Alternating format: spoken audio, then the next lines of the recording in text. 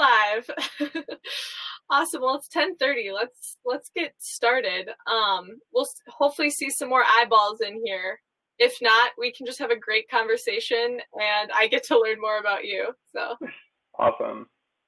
Cool. Um, first off, can you just tell me your background, your story, where you grew up? Um, what do you like to do as a kid? Sure. So I'm originally from Eden Prairie, Minnesota. I did my whole kindergarten through 12th grade, 12th grade education in that school system. Uh, growing up, I guess I was always sort of like I was a kid that like read a lot, um, particularly like educational books. Um, so I have like a huge collection of those kind of books at my parents' house that actually we probably should be donating to. Neither me or my brother use them that much anymore, but yeah, I did my uh, K through 12 education in Eden Prairie, Minnesota. Came to the University of Minnesota, and um, now I'm pursuing a degree in chemical engineering. That's amazing. I think I mentioned it to you, but my sister um, did the chemical engineering program at the U, and I have so much respect for anyone who does that program. Um, yeah, it's it's no easy task. cool. Okay, so you have always been into kind of learning, education, just yeah, learning new things. How did that kind of translate into Jeopardy? Like, how were you first introduced to that? Of like, this is something I could pursue. Yeah. So one like super popular activity like throughout the country at the high school and college level is this thing called Quiz Bowl. Um, it's sort of a trivia like answering questions kind of thing where um, you have like teams of four and uh, you're like you have questions that are read to you and you have to buzz in and give the answer. Um, so that was something that I did actually starting in eighth grade and uh, did throughout high school, and I'm part of the Quiz Bowl Club at the U of M as well. Um, so that's something that's been part of my life for a while.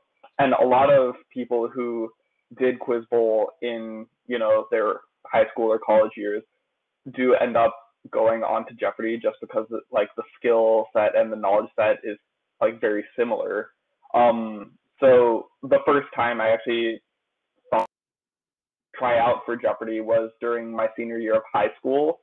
Um, I didn't actually end up taking the online test that year because um, I think it was scheduled at the same time that I had a band concert at my high school, so I couldn't do it. no. But, um, anyway, that's how um, I sort of got into the world of Jeopardy.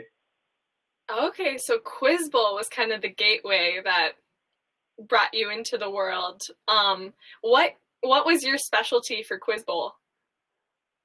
So I did like mostly science stuff, nominally science, although a little bit of everything definitely helps. Um, mm-hmm. Especially, you know, when you go on like Jeopardy, for example, it's not a team thing; it's a one-on-one, on-one sort of thing. So you have to have knowledge in a lot of different areas. Right, that makes sense. That's cool. It's funny um my my little cousin um his name is Urbis. He's actually not little anymore. He's going to be a freshman at the U this year and he did um quiz bowl for Irondale High School. And I I, think I, I must have played against him in high school oh, probably. Oh, yeah, you uh, must probably. have. That's so cool. Yeah, I'll have to let him know like talk to Nibir for all things quiz bowl U of M.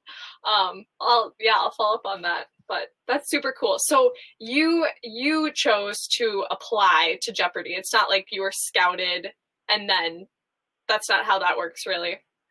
Yeah, exactly. Like anyone can go onto the Jeopardy website and take the online test.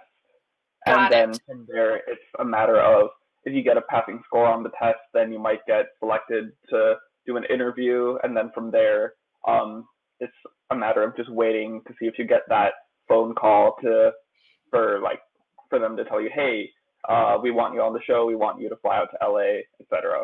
Wow, that is cool. So anyone on the anyone listening, that's the process. The online test and then you wait for the call. Um, okay, really interesting. And then can you tell me more about how the so you were accepted, they gave you that call, they're like, We want you to fly to LA. What was um like the process of the competition itself? Um yeah, just walk me through that whole experience. Yeah, so they brought um, 15 of us us college students and one alternate out to LA. And um, so during the first day of filming, they had us uh, do like five different episodes. So like five groups of three of us doing like quarterfinal rounds, and then from those 15 people, nine of us moved on to the second day, filmed three semifinal episodes in the morning, and then the winners of each of those semifinal episodes in the morning uh, got to play in the two finals episodes in the afternoon of that second day. So basically, we filmed two weeks worth of shows in two days. I did not realize it was just a two day thing. That is insane. And you have to be did you even have a practice for um like before it was televised or before it was brought or recorded? Or was it immediately like you go onto the stage and they're recording everything you do? We got a little bit of practice just getting the hang of like the buzzers and like the flow of the game uh, before they started filming, before they brought the audience into the studio, just so that we could get like a little bit comfortable. But I remember um, on the first day of filming, my episode was the last one of the five that they filmed. So at that point, um, Tyler and Natalie and I, so we were the three contestants who were in that episode together. Uh, we were just kind of tired because we had been like sitting around all day just waiting for our turn. So it, it was like a little bit of a different experience. For me, it was like not as much nerves as like, okay, let's get this over with. Right. Like we've been here sitting all day. Did you at least get to listen to the other people or is it all kind of private in that way? On the first day, we didn't get to watch the other episodes that they filmed um, because of the way the competition is set up is like you can know how much to bet if you watch the other episodes first um, just because of the structure of the competition. But on the second day, I got to watch the episodes that I was not involved with. So that was that was fun to just sit in the audience there and you know watch my friends. That is super fun. Do you, whenever you watch Jeopardy, and like in this circumstance too, I, I'm this happens to me where I I think of the answer. Do you ever do that of like, oh, I knew that like before? Well, yeah, of course. When you're, uh, my personal opinion is when you're watching Jeopardy at home, you have to like shout out the right answer whenever you know it. Yeah, that's that's the right way to watch. Right. That's the fun. Yeah, fun of it. You can participate at home and try to you know beat mm-hmm. the people participating. Super cool. Wow, I did not realize it was such a whirlwind experience. Did you get to bring anyone? Like, was anyone from your your family or fan club in the audience there? Yeah, so my parents and my younger brother flew out to LA. Um, they had to pay for their own tickets, but um, they were able to get like um, tickets into the studio um, to watch the shows as they were being recorded. So uh, it was great having them there. And then obviously after I won, we were able to go out for dinner and celebrate and stuff. Wow, what an experience! I'm sure your family was just so proud. Like that's incredible. Cool. Um, let's see, what else do I have? Oh, I have a question. This is um I like this question.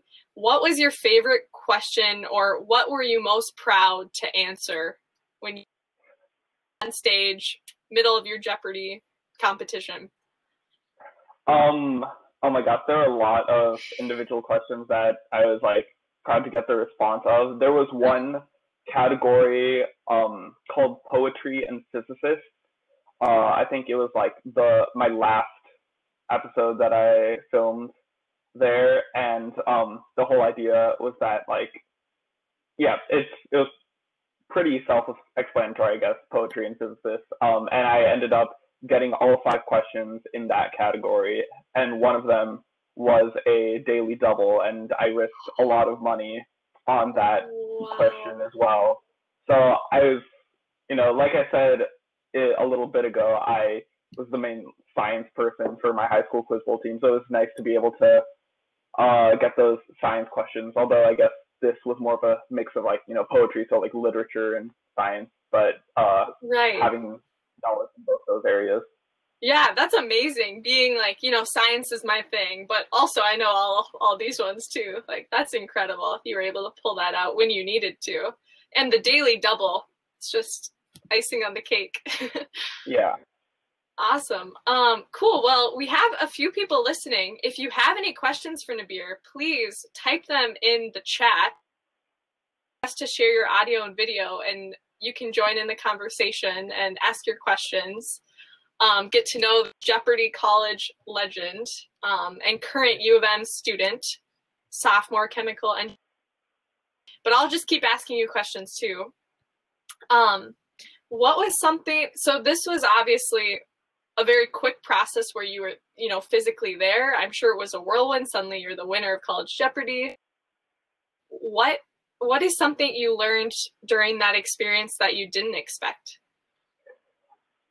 All of the people who worked on set, um, you know, all of the like producers and uh, contestant coordinators and technicians that were on the Jeopardy set were just such like outgoing and nice people, like really fun to work with and that's something that I guess makes sense in hindsight. But I was really surprised by that when I got there, how like nice everyone was, and that really made um, you know going to the set that you've like only ever seen on TV, and like it can feel like you know maybe a little bit nerve wracking at first, or like really surreal. Um, it made that a lot more comfortable. That's amazing. Yeah, I'm sure that makes a world of a difference. If you feel, you know, like okay, these people are people are welcoming, they're going to help me, you know, with this, like you're able to perform so much better and like relax a bit even in that high pressure situation. That's amazing yeah, to hear. And you never know with LA. You kind of hear like, "Oh, I don't, I don't know the stereotype, but that's awesome. They were just really kind to you."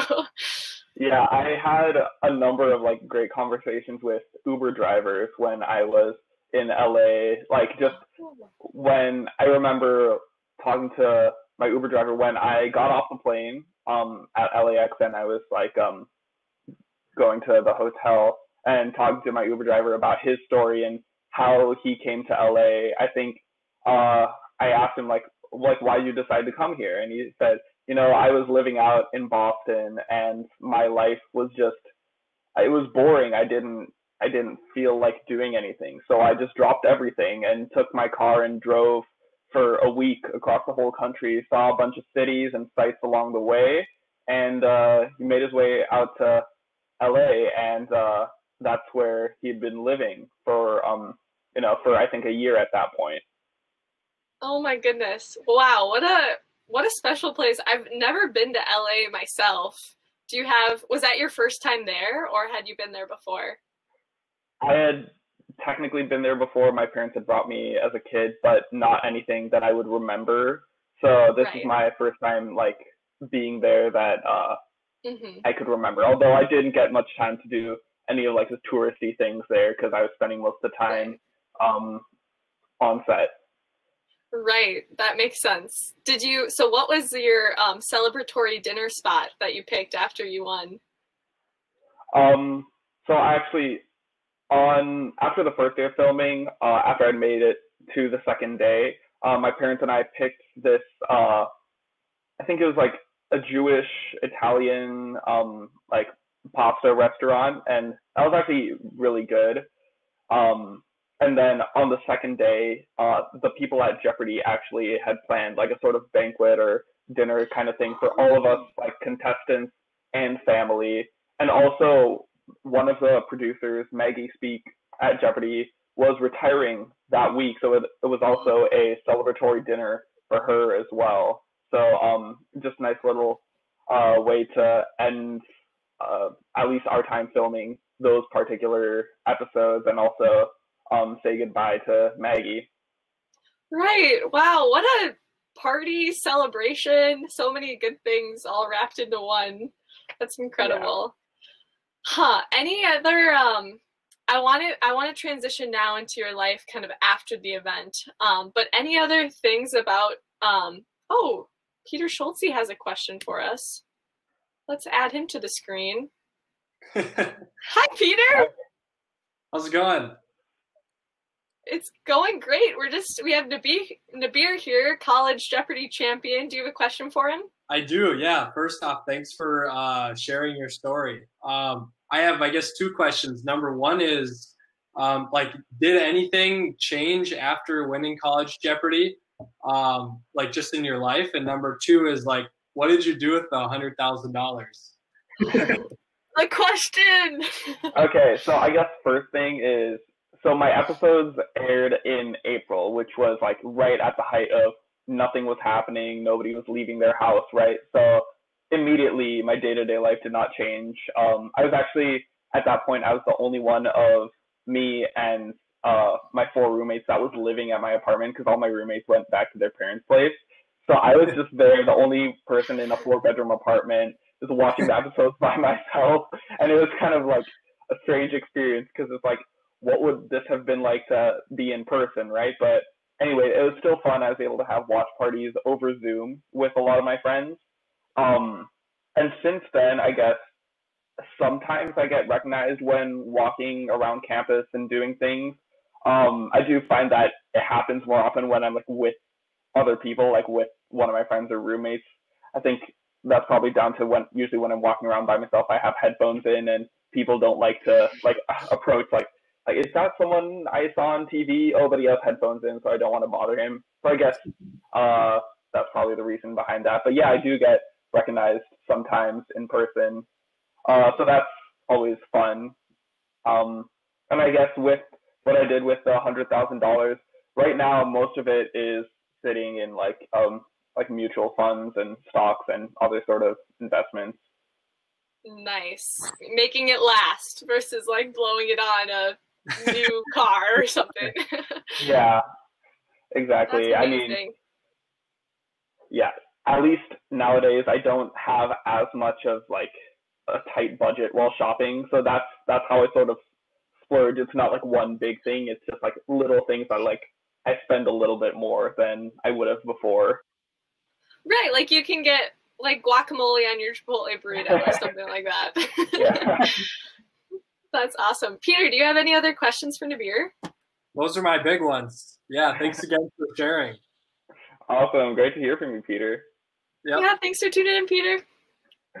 Um, yeah, no, I think that's really cool. I mean, I'm not surprised that you're recognized on campus and people like I know I um I if I saw you on campus, I'd be like, "Oh, you're a legend! Like you put University of Minnesota on a map." So that's really cool that you're being reached out to like that. yeah, it's also, I guess, the thing is like wearing a mask out in public as well. It's kind of hard to recognize people from just like the top half of their face as well.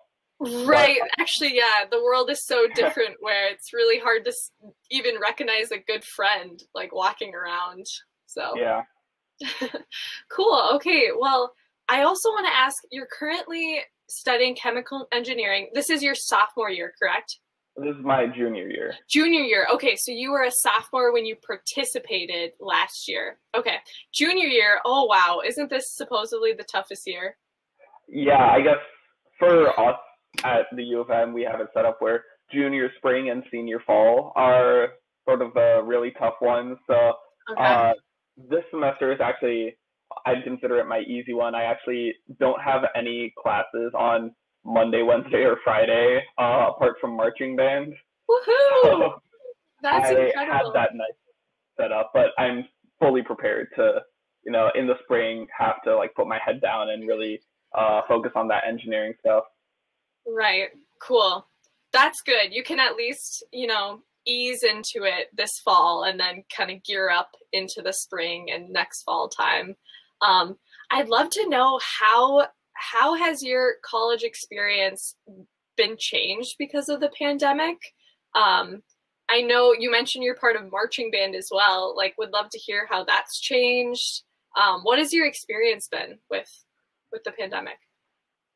Yeah, so I guess in general, it's the online classes sort of thing. Um, my only technical in-person class is marching band, but the way that that is set up this fall is that we're online for the first two weeks of school. So this being our second week of school, but we're going to start meeting in person in smaller groups, only outside, starting next Monday. And of course, with no football, we're not performing at football games. So we're going to be over at the football stadium and they'll video record our like halftime shows and post them on the internet. Super cool. I didn't realize we could still watch you. I yeah, I didn't know the process for that. So that's awesome. We're still going to get our marching band fixed this fall. yeah. Cool. And, and, go ahead, keep going. Oh, I was just going to say that um it's nice to have at least for me even though, you know, it there's dangers involved, I do miss like seeing my friends from band in person as well. We have been having stuff over Zoom, but um, you know, even with like socially distanced, like staying six feet apart and stuff like that, it's gonna be it's something that I'm looking forward to. Yeah. Yeah, it's hard when I mean like you even mentioned just not being able to have a viewing party with your friends like this that spring like it's it's hard to not be with your community. So that's good you'll you'll get that soon. And even if yeah. it's in smaller groups.